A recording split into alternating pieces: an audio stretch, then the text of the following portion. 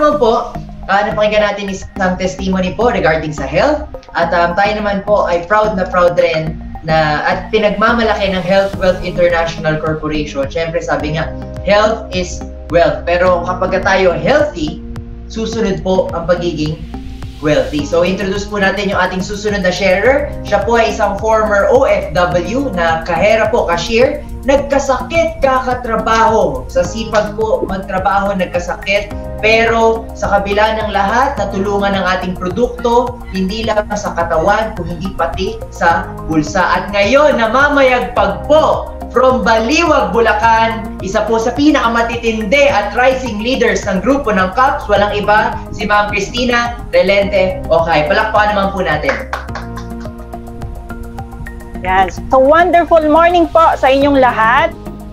Sa lahat po ng kasama dito sa Zoom, wonderful morning. Maraming maraming salamat po, Sir Vince.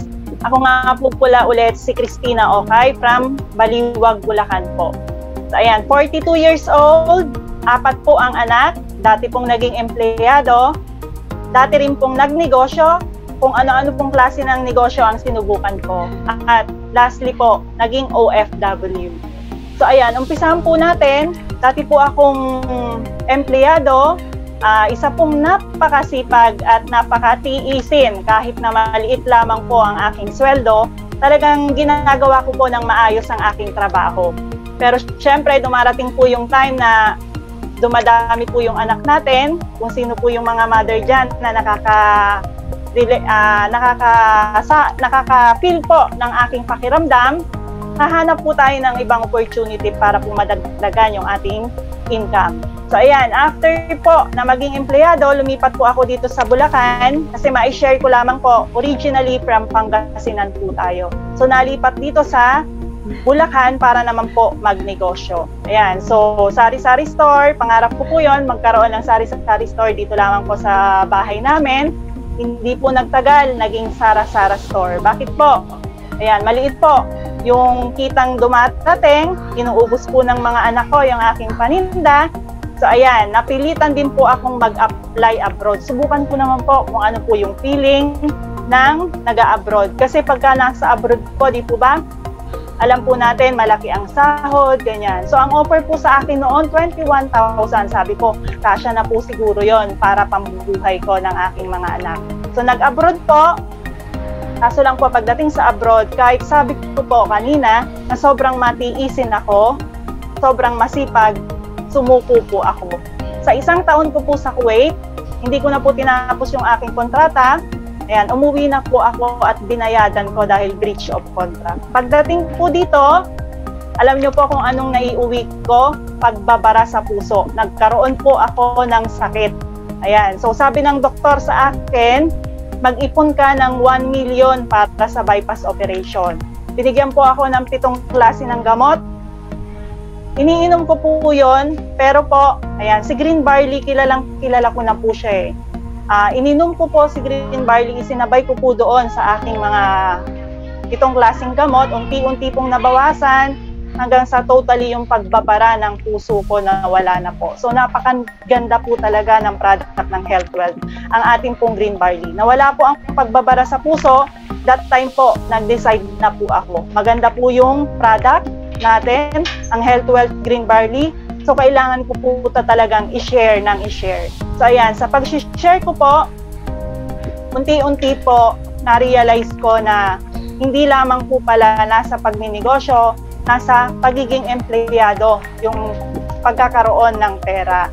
Nandito po sa Health Wealth Green Barley. So, ayan po, unti-unti po, nakapag-ipon, hanggang sa mailabas ko na po yung aking Toyota Wigo kasi dumami na po yung ating mga customer, mga users sa iba't ibang uh, places po. Nahihirapan na po akong magdala ng produkto. Kaya yan, kina, kinailanganin, kinailanganan ko na po na magkaroon ng Wigo. So ayan po, si Wigo po, siya po ang aking kasangga ngayon.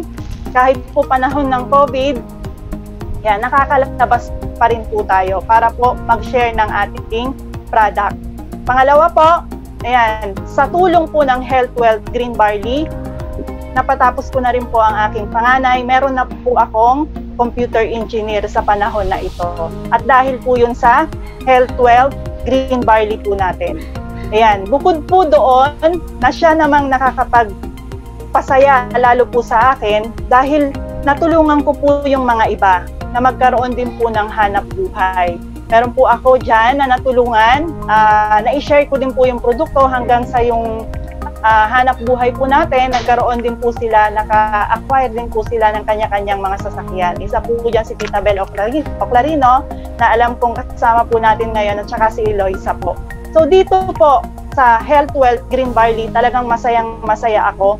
Kasi kung noon po, hirap na hirap ako para ibigay yung mga pangangailangan ng mga anak ko, hindi ko po akalain na dito lamang po pala sa Pilipinas, pwede na po tayong hindi mag-abroad. Kasi yung pangako sa abroad na 21,000, pagka andoon ka po, babayadan mo yung bahay mo, yung pagkain mo, 8,000 na lang po yung naiiwan para sa pamilya. Pero dito po sa Health Wealth, kahit po nung panahon ng COVID, sa katunayan po, ma-share ko lang po, mula pong nag, nung nag-join ako, yung chineke ko po, ng panahon ng COVID, yun po yung pinakamalaki. Kaya tuwang-tuwa po talaga ako.